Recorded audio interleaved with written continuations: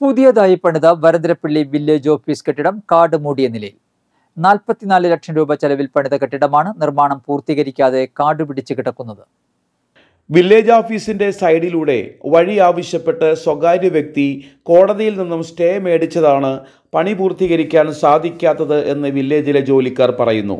പുതിയ കെട്ടിടം ഇഴജന്തുക്കളുടെയും നായ്ക്കളുടെയും കേന്ദ്രമായി മാറിയിരിക്കുകയാണ്. നിലവിൽ വില്ലേജ് പ്രവർത്തിക്കുന്നത് പഞ്ചായത്ത് കെട്ടിടത്തിന്റെ ഒന്നാം നിലയിലാണ്. ഒന്നാം നിലയിൽ ആയതിനാൽ ഇവിടേക്ക് വയോധികർക്കും അംഗപരിമിതർക്കും കയറി ചെല്ലാൻ വളരെ ബുദ്ധിമുട്ട് അനുഭവിക്കുന്നുണ്ട്.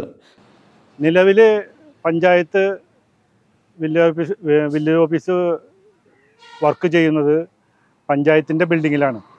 ആ ബിൽഡിങ്ങിൽ ഒന്നാം നിലയിൽ വർക്ക് ചെയ്യുന്ന ആ വില്ലേജ് ഓഫീസിലേക്ക് വയസ്സായവർക്കും അതുപോലെ തന്നെ അംഗപരിമിതരായ ആൾക്കും കയറി ചെല്ലാനുള്ള ബുദ്ധിമുട്ട് വളരെയധികമുണ്ട്.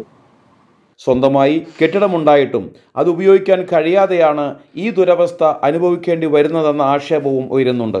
എത്രയും പെട്ടെന്ന് പുതിയ വില്ലേജ് ഓഫീസ് കെട്ടിടത്തിന്റെ പണി പൂർത്തീകരിക്കുന്നതിനുള്ള നടപടി ഉണ്ടാകണമെന്നാവശ്യപ്പെട്ട് റവന്യൂ മന്ത്രിക്കും ജില്ലാ കളക്ടർക്കും മനുഷ്യാവകാശ പ്രവർത്തകനായ സുരേഷ് ചെമ്മനാടൻ നിവേദനം നൽകി. അളകപ്പനഗർ ഗ്രാമപഞ്ചായത്ത് ആറാം വാർഡിലെ നവീകരിച്ച പാറോലിമന റോഡ് തുറന്നു. K K Ramachandran M L A ഉദ്ഘാടനം നിർവഹിച്ചു. അളകപ്പനഗർ ഗ്രാമപഞ്ചായത്ത് പ്രസിഡന്റ് പ്രിൻസൺ തയ്യാലക്കൽ അധ്യക്ഷത വഹിച്ചു.